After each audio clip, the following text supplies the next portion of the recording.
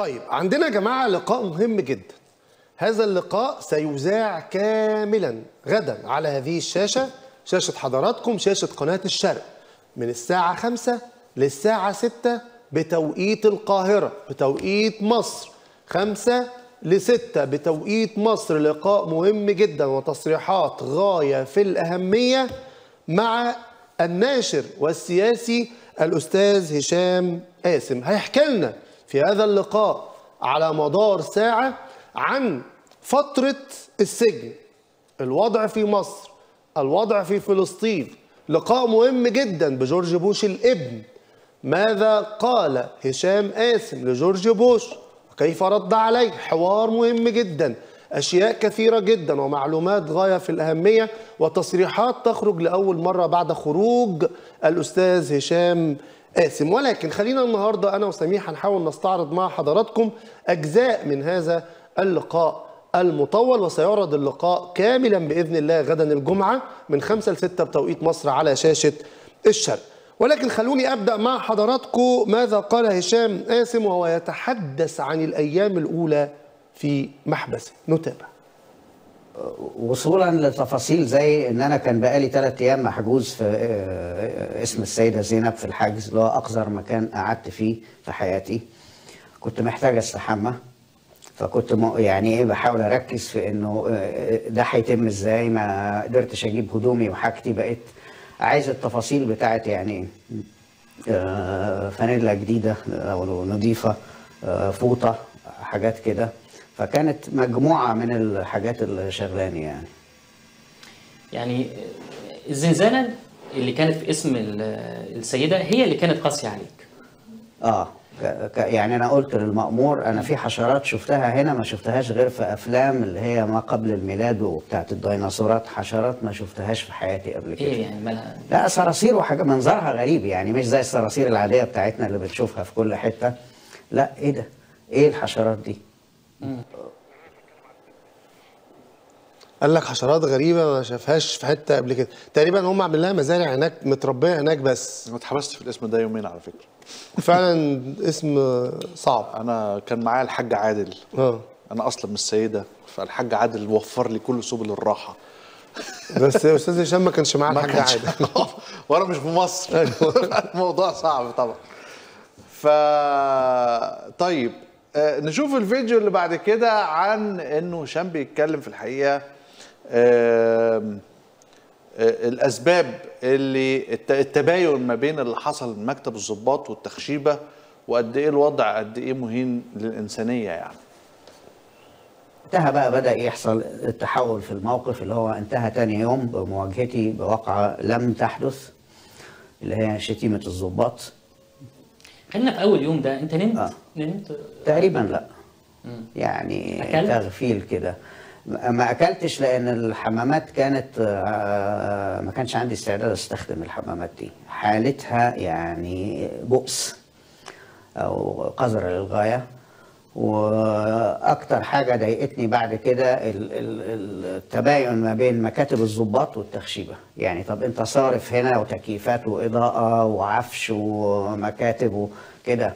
وبعدين سايب التخشيبة بال- بالمنظر ده يعني لو الاسم كله وضعه آه، سيء كده مفهوم.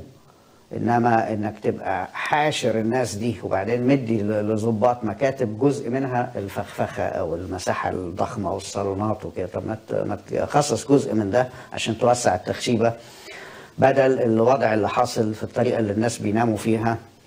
واحدة اسمها التوك توك دي الزحمة خالص يعني بيناموا كده بيسندوا على بعض بيبقى قاعد في الوضع ده كده و...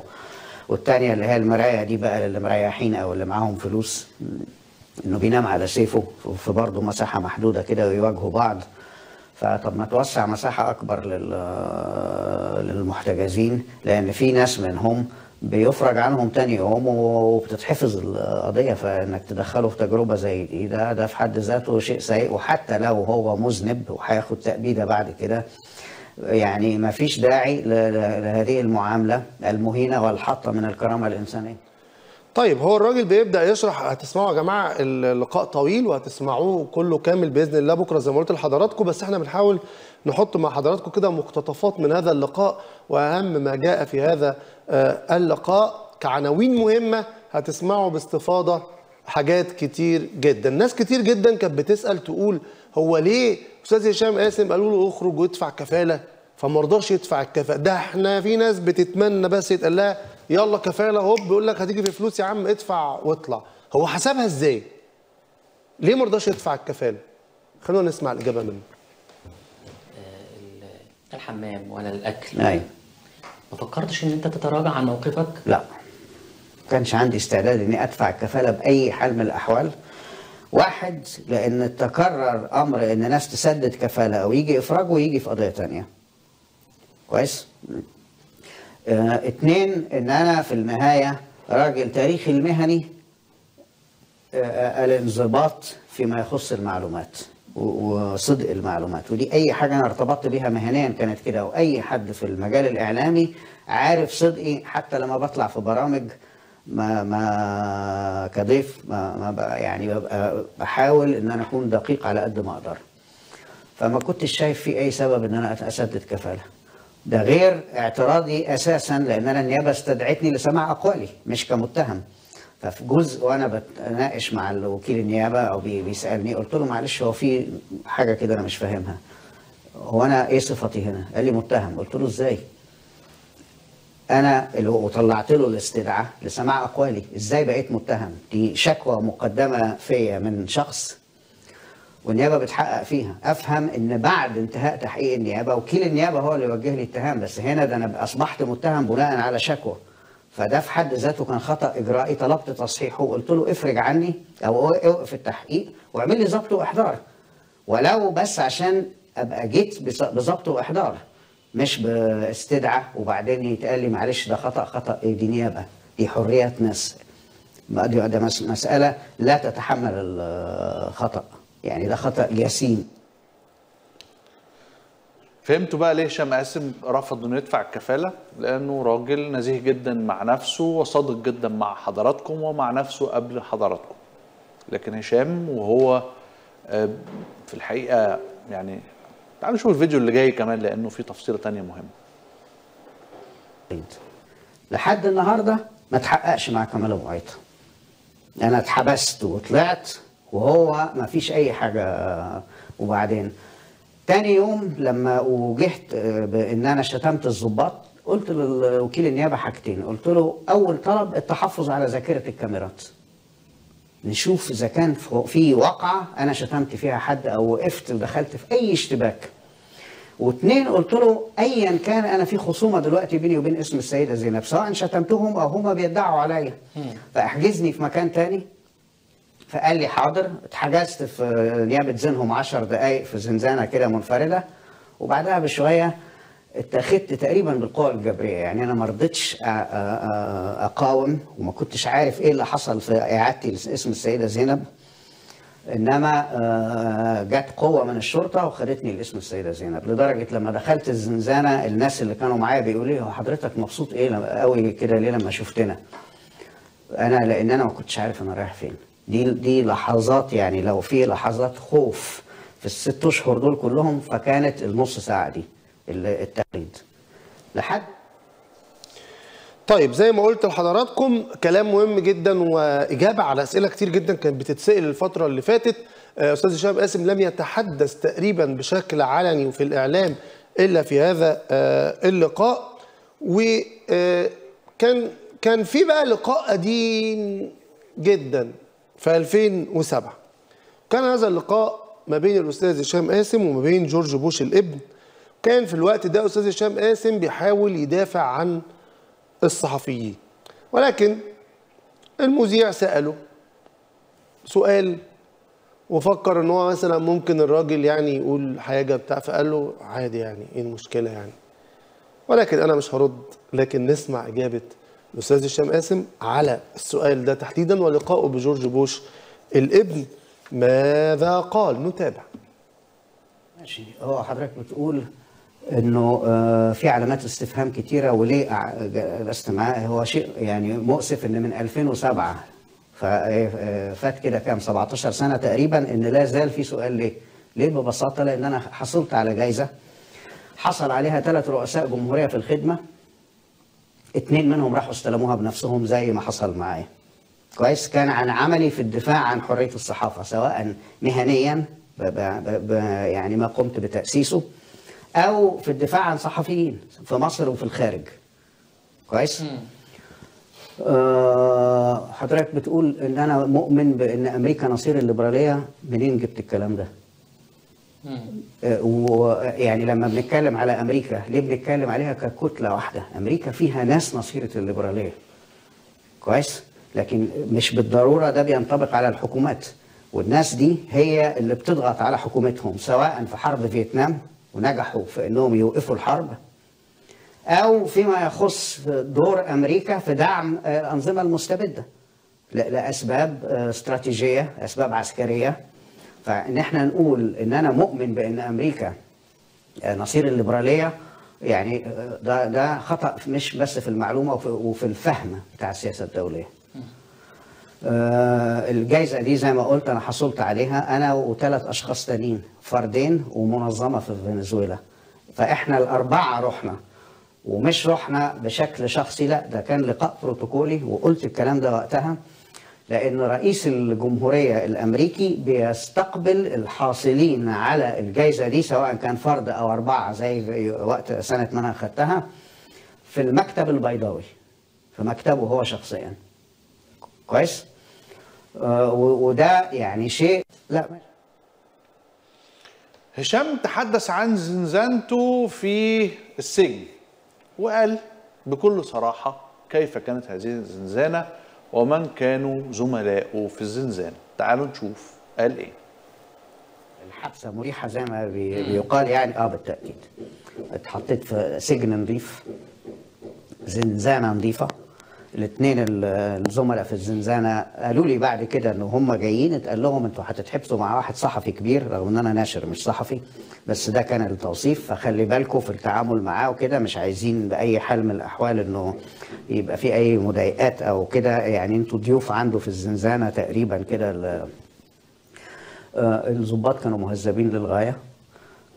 مرة من المرات لقيت واحد من المخبرين وهو مرجعني الزنزانة كنت في العيادة أو في الكانتين مش فاكر فلازم أنا ما بتحركش غير ومعايا حد بي مرافق من الأمن. فكان بيشتم ال- أو بيعنف يعني ال- ال- المساجين أو النزلاء فاشتكيت. بطبيعة الحال أي حد زي حالتي بيدخل زنزانة بيبقى فيه مرشدين عليه. هو كان مرشد بس أنا ما كانش عندي مشكلة في دي. وبعد كده قلت لهم يعني هو إيه اللي هيحصل؟ إنه هيقول الخطة بتاعتي لحفر نفق. ما على بال ما أحفر نفق وأهرب هيعدوا الست أشهر يعني. نفق عايز آه، سنتين ثلاثة أنا كده كده هم ست أشهر. هم ودوني أحد أفضل السجون اللي موجودة دلوقتي. والمعاملة بتاعت النزلاء والسجناء ما كانتش تفرق آه، سواء آه، على الأقل يعني آه، بعد دخولي. ما أعرفش إيه اللي حصل دلوقتي إنما ما- كانش في شكوى من النزلاء من إدارة السجن وقت ما أنا دخلت. طيب هو يا جماعة أي غرفة بيتحط فيها مسجون سياسي أو معتقل سياسي زي ما الغرفة دي مكونة من أربع جدران وباب وأرض وسقف لازم يبقى فيها مرشد. يعني وحسب العدد بقى أنت عندك كام واحد جوه؟ فنحط لهم كام مرشد. فده من ضمن يعني إيه مكونات آه، الزنازين في مصر للأسف. خلينا كمان نتكلم آه، أو نسمع أستاذ هشام قاسم وهو بيتكلم عن التيار الحر. يمكن التيار الحر كان بيبدأ وبينشأ وهو حضر آه، الجلسات التحضيرية لهذا التيار ثم بعد ذلك تم اعتقال الأستاذ هشام قاسم. سمعنا الأستاذ محمد أنور السادات في تصريحات كتير جدا قال إحنا منتظرين عودة الأستاذ هشام قاسم منتظرين نتكلم معاه في حاجات فيما يخص التيار الحر ومنتظرين أيضا رأيه في هذا الموضوع. تكلم الأستاذ هشام قاسم عن التيار الحر وقال إن هو تعثر بعد حبسه وإن التصور الليبرالي ما عندوش فيه مشكلة آه، من الأساس فيما يخص التيار الحر. نسمع ونشوف. اتحبست.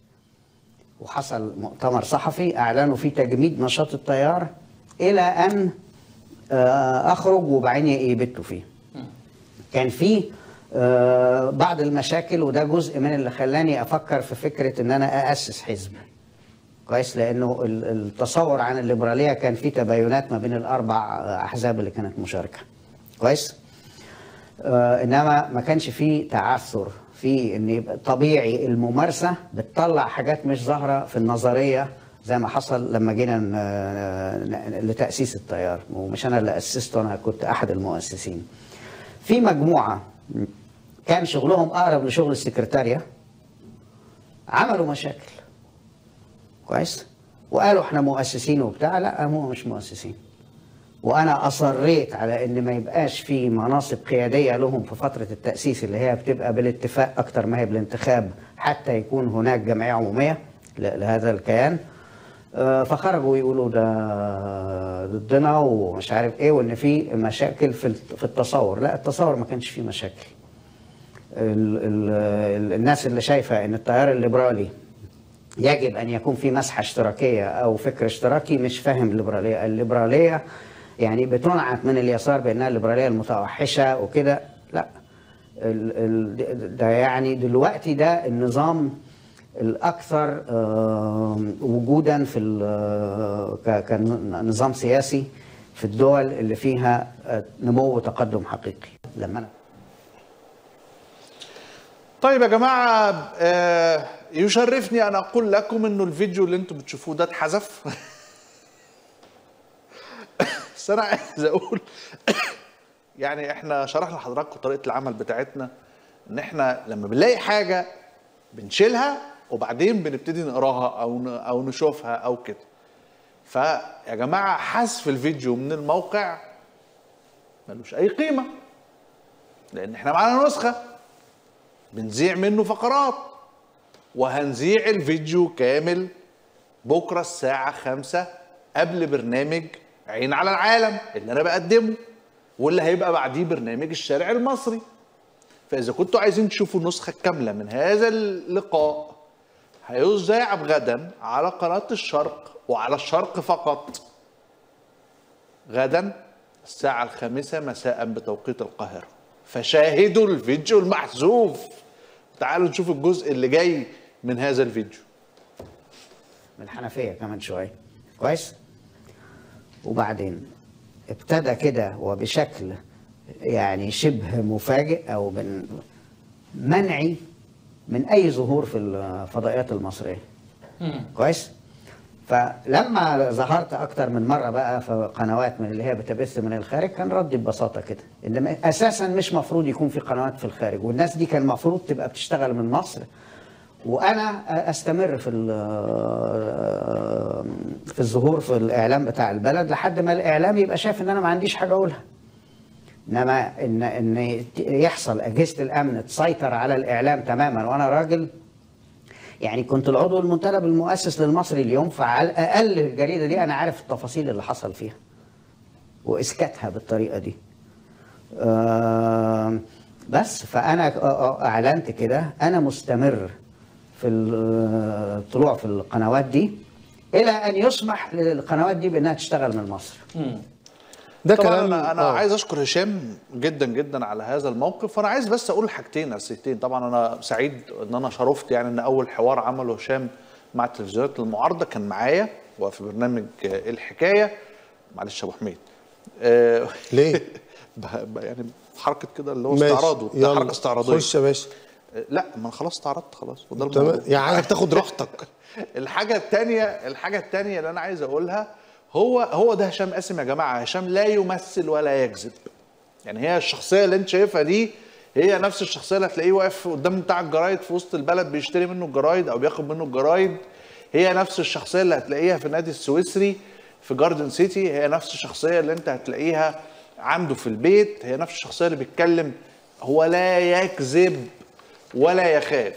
هو اتربى كده. ده راجل أبوه قاضي كبير كان نائبا اساسيا آه، في وزارة العدل ابن آه، ابن يعني البحيرة آه، ابا عن جد من أسرة تعاشت وترعرعت في الإسكندرية ليبرالي حقيقي رئيس للمنظمه المصرية لحقوق الإنسان لفترة زمنية تعدت ل 20 سنه كاتب في صحف في صحف كتير واحد من أوائل من نشروا مجلات باللغة الإنجليزية في القاهرة في عصر مبارك تنتقد النظام والحكم وتتحدث عن الأوضاع السياسية والاقتصادية برسالة سياسية واضحة. ثم بعد ذلك أول ناشر لجريدة المصري اليوم لما كانت المصري اليوم هي في الحقيقة عنوان من عناوين الحقيقة في جمهورية مصر العربية في الفترة منذ إنشائها. وتولي الأستاذ أنور الهواري رئاسة تحريرها ثم بعد ذلك الأستاذ مجدي مهنا رئاسة تحريرها ثم بعد ذلك الأستاذ مجدي الجلاد رئاسة تحريرها كان هشام قاسم هو الشخص الخفي الذي يفصل ما بين الأخبار والإعلانات ما بين الخطوط السياسية المتفرقة. كان هذا هو العقل اللي بيخلي الحقيقة تطلع قدامك على صفحة أو على صفحات المصري اليوم. عشان كده اتحبس. تعالوا آه وعشان كده هو اللي بيقول ومقتنع بيه فيما يخص القنوات اللي في الخارج. وأنا رأيي إنه قرار كلامه صحيح. بس إذا كنا إحنا بنجرب مع بعض فالموقع حذف الفيديو بتاع اللقاء بتاع هشام قاسم فما بالكم بقى لو كنا إحنا موجودين في مصر كان هيبقى وضعنا إيه؟ وإحنا بنقول رسالة إعلامية لوجه الله والوطن وهدفنا الرئيسي هو الحقيقة والحق. على فكرة في ثلاث سنين اشتغلتها في هذه القناة. حتى الآن الدولة دي لم تواجهنا الحجة بالحجة. عمرنا ما قلنا كلام لا أنا ولا زملائي. وردوا علينا بأنه لا تعالوا معلوماتكم غلط في واحد اتنين تلاتة أربعة الكلام ده مش دقيق. وعايز أزايد بقى شوية وأقول إنه لو كان عقد رأس الحكمة ما فيهوش ما يسيء للسيادة المصرية وللأفكار الطبيعية للوطنية المصرية اللي اتعلمناها منذ الوطنية المصرية. ما كانش يا جماعة كان العقد ظهر واتنشر تفاصيله واتحكت حكايته أمام الناس. طيب إحنا عايزين يا أحمد آه، نرجع تاني لهشام قاسم. آه وهو لو هشام قاسم بيقول أنا مستمر آه، في الظهور على الإعلام المصري أنا بشكره على التسمية كمان واختاروا التسمية تسمية رائعة وحقيقية الاعلام المصري اللي هو بيبث من الخارج ومش المفروض إن هو يكون بيبث من الخارج المفروض يبث من داخل مدينة الإنتاج الإعلامي وان أنا مستمر حتى يسمح لهم بالعمل من مصر. إحنا برضو مستمرين إلى أن نلتقي به في مصر إن شاء الله وبإذن الله نطلع من مدينة الإنتاج الإعلامي ونتكلم عن مصلحة بلدنا ونهضة بلدنا مع هؤلاء الأحرار الكثر اللي موجودين وثابتين على كلمة الحق. لم يتحدث فقط بالظهور واستمرار الظهور لكنه أيضا تحدث أنه سيظل مستمر في الكتابة ولن يتوقف آه، عن الانتقاد الإيجابي والبناء ولن يتوقف عن ممارسة حقه في النقد الإيجابي والبناء حتى وإن كان من سينتقد هشام قاسم هو رئيس الجمهورية. نسمع ونشوف.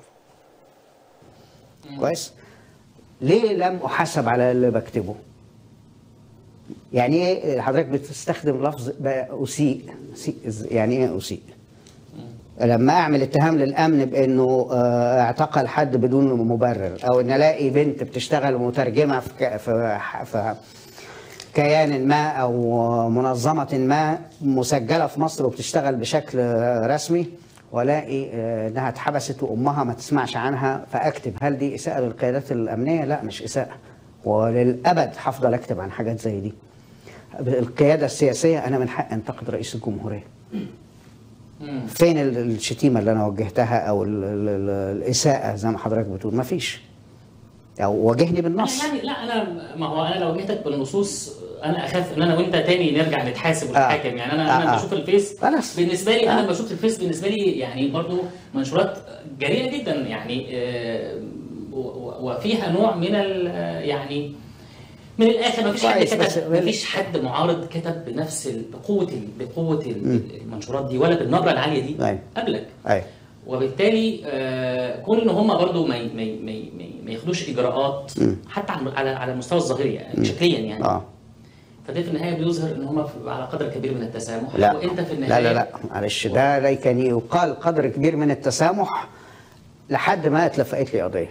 ده أنا اتلفقت لي قضية مش جابوا حاجة أنا كتبتها واتحاسبت عليها.